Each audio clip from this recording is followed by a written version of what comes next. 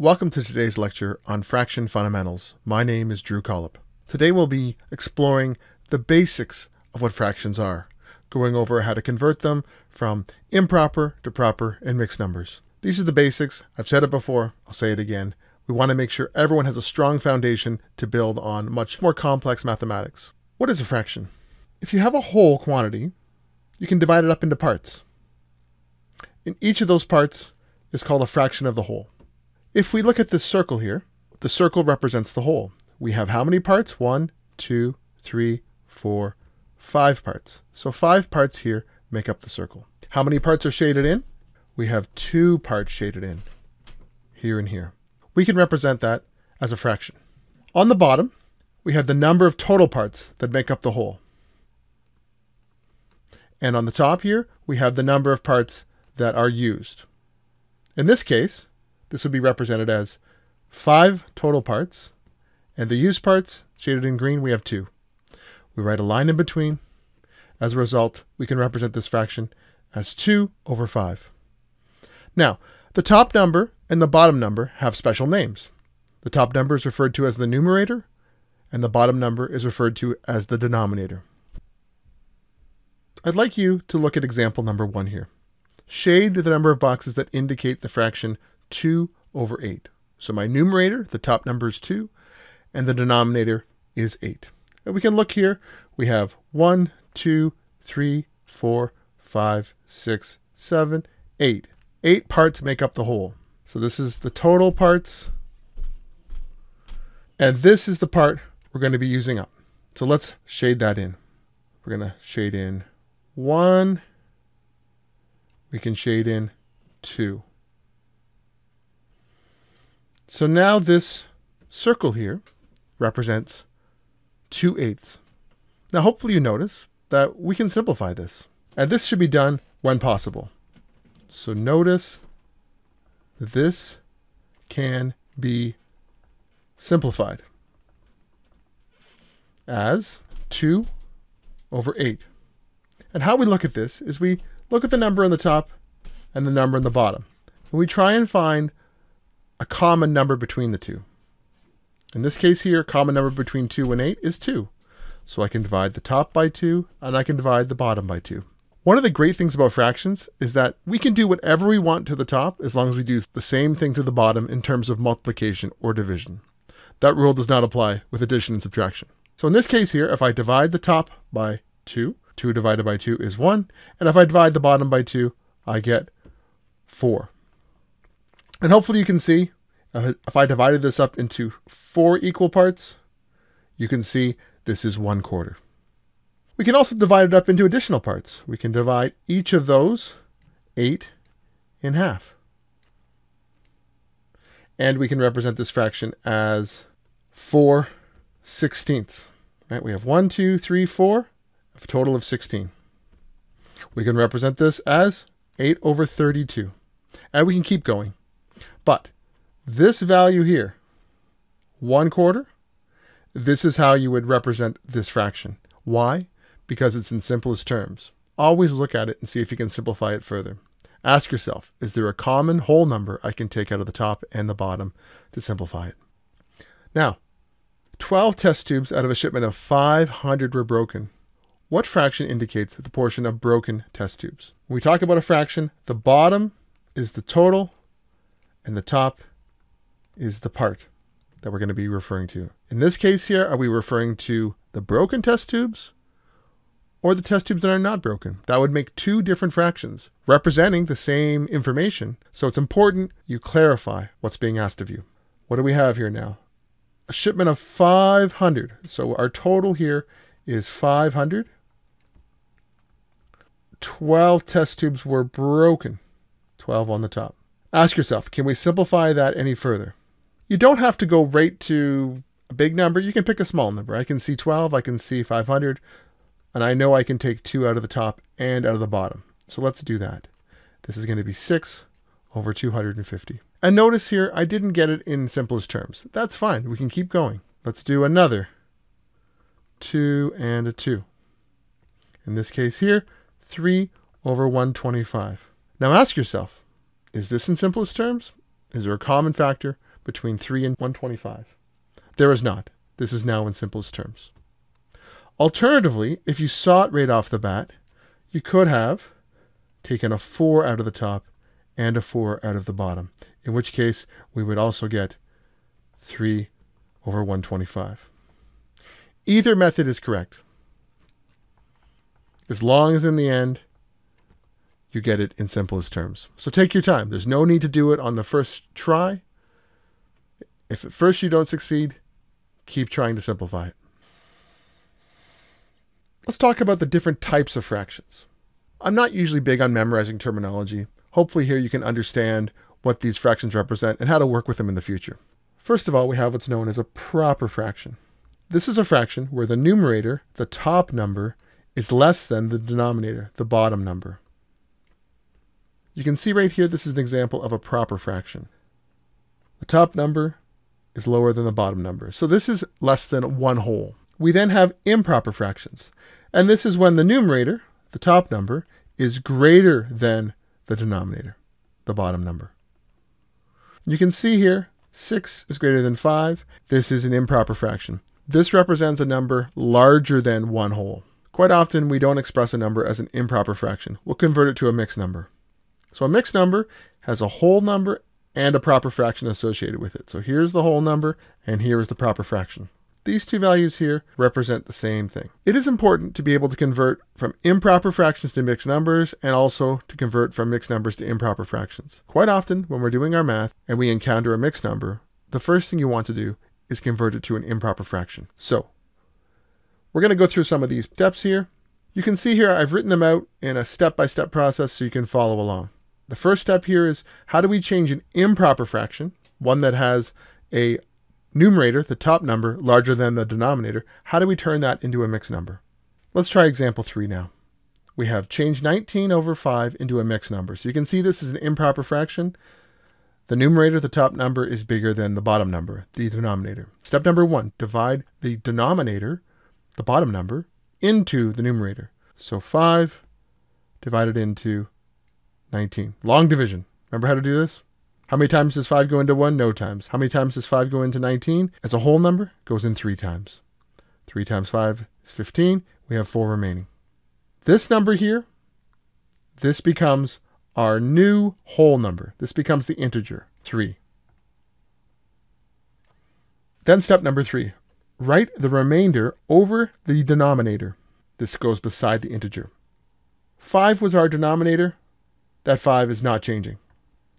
This remains as 5. That's where that comes from. And lastly here, we have remainder 4. That goes up above, right here. So 19 over 5 is equal to 3 and 4 fifths. Hopefully this makes sense. Let's give some more a try. Let's try example number 4. Change negative 29 over 6 into a mixed number. You can see the numerator is a larger magnitude than the denominator, even though it is negative. So what we're going to do is we're going to divide the denominator into the numerator. And we're just going to forget about the negative sign for now.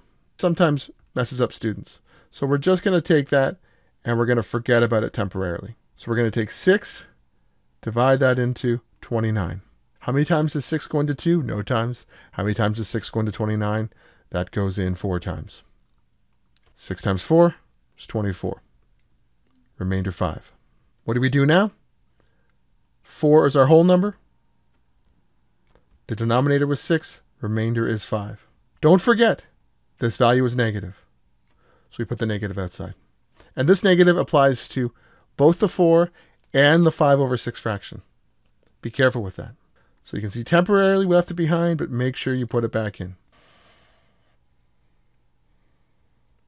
Next question.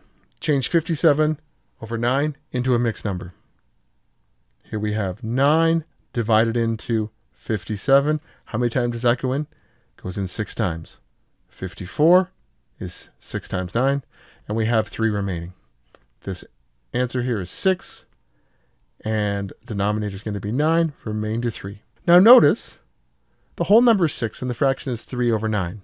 Do you notice we can simplify that? We can take a 3 out of the numerator and a 3 out of the denominator, in which case we will get 6 and 1 third. Don't forget to simplify your fractions. Lastly here, change 9 over 3 into a mixed number. Here we have 3 divided into 9. How many times does 3 go into 9? It goes in 3 times. Remainder 0. So here we have our whole numbers 3, the denominator was 3, and the remainder 0. We can just write this as 3. There's no need to write the fraction. So hopefully you understand now how to convert an improper fraction into a mixed number. I'd like you to pause the video now and try some of these on your own. Don't use a calculator for these. I want you to convert these improper fractions into a mixed number. I'll write down some of the answers here as you go, and then I'll take up some of the more difficult ones. If you have any problems with ones I don't take up, you're welcome to contact me during the tutorial and get some help with that. So give these a try now. Pause your video.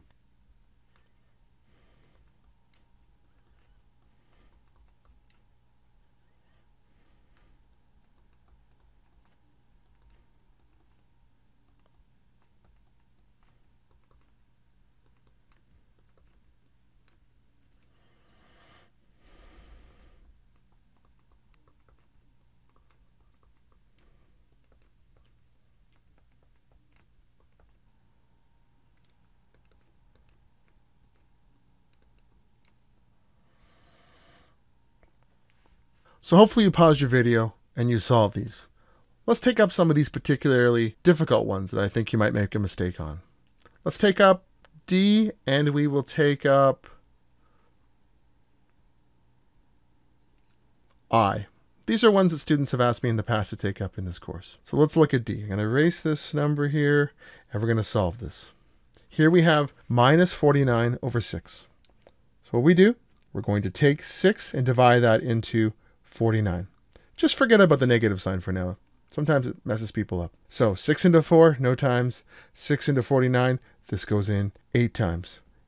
6 times 8 is 48, remainder 1. So the answer here is 8, and our fraction is 6 is the denominator, and remainder 1. Don't forget to put the negative sign in. So here, we have the whole number comes from here. Here, this is the remainder. This is the part. And here, this is the denominator. Doesn't change. I now. Let's give this a try. Here we have negative 4 cubed. So remember what this represents. This is minus 4 times minus 4 times minus 4 over 7. There are three negatives, an odd number. So in the end, this is going to be a negative number. Negative 4 times negative 4 is positive 16. And then positive 16 times minus 4 is minus 64. This is divided by 7. Now what we have to do, we have to take 7, divide that into 64. And we're just going to leave the negative sign on its own for now. How many times does 7 go into 64? It goes in 9 times. 7 times 9 is 63, remainder 1. So here, we're going to simplify that down. We have our whole number, which is 9, we have our denominator, which is 7, and we have a remainder, which is 1. And don't forget the negative sign. Make sure you move that over. And that's why this fraction turns into minus 9 and 1 over 7. Let's do the other one now. Let's change the mixed number into an improper fraction. Honestly, this is a more useful skill for you to have because quite often we're doing mathematics with a mixed number. The first thing you're going to do is you're going to turn it into an improper fraction. So what are our steps here? Change a mixed number into an improper fraction. Step number one, multiply the whole number. Here's the whole number by the denominator. Here's our denominator right here. And then add the sum to the numerator. There's your numerator right there. So I've highlighted these to try and help you better understand. Then write the sum over the original denominator. So let's go through the steps one at a time. Multiply the whole number, 3, by the denominator, 3 times 4. Then add this number to the numerator. Write this sum, sum means we add the values up, over the original denominator. It was 4. So to highlight here, there's where the 3 is coming from. Here's where the 1's coming from. And this 4 is both here and here, the original denominator. We work it out. 3 times 4 is 12 plus 1 over 4. And in the end here, we have 12 plus 1 is 13 over 4. So we took a mixed number, we turned it into an improper fraction. Next one now. We take the whole number, multiply by the denominator. 3 times 5, we add to it the numerator, we put it over the original denominator. 15 plus 2 over 3, 17 over 3. Simple as that. Now, change negative 2 and 3 over 7 into improper fraction. Be careful with this. This is where students make mistakes. I'm going to show you right now this is incorrect. I want to show you what's wrong, and then I'll show you how to do it properly. So the idea here is, well, we're going to take the 7, multiply by the 2, negative 2. Negative 2 times 7, then we add to that the numerator, and we divide by the original denominator. In which case here, you would get minus 14 plus 3 over 7, and this becomes minus 11 over 7. This is incorrect. Please don't do this.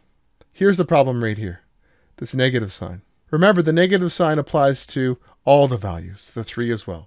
We can avoid that. What I usually recommend students do is they just leave that value outside the brackets. Let me just move this over a little bit. And this is what we are not supposed to do. Let's do what we're supposed to do now.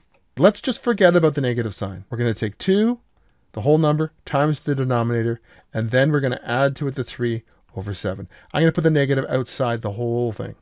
Then when we do this, we get 14 plus 3 over 7, the negative is outside, and here we get 14 plus 3 is 17 over 7, and the negative is outside. This is the correct answer.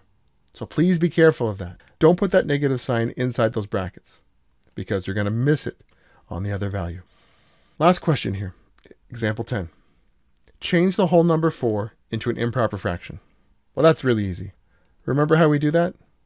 Any whole number can be turned into a fraction by putting it over the value of 1. In this case, the numerator, 4, is more than the denominator. This will be important later on when we're doing multiplication and division of fractions. A number of practice problems here for you to try. Please pause your video, give these a try. I'll write down all the answers, and then the ones I find tricky, I'll take them up. Other than that, you can ask me in tutorial. Pause your video, give these a try now.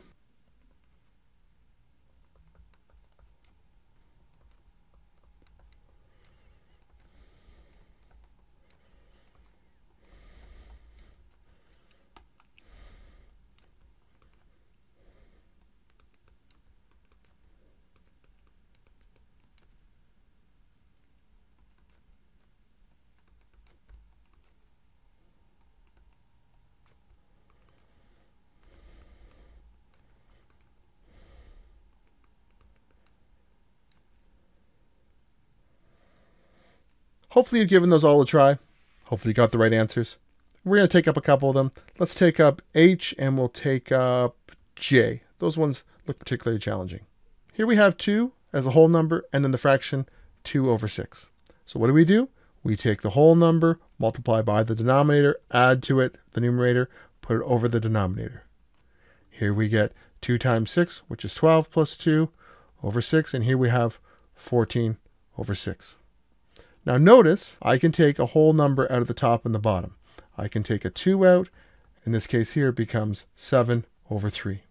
That is why the answer is 7 over 3 and not 14 over 6. Now, those values represent exactly the same value, but we always want to simplify our fraction down to lowest terms. Next one here.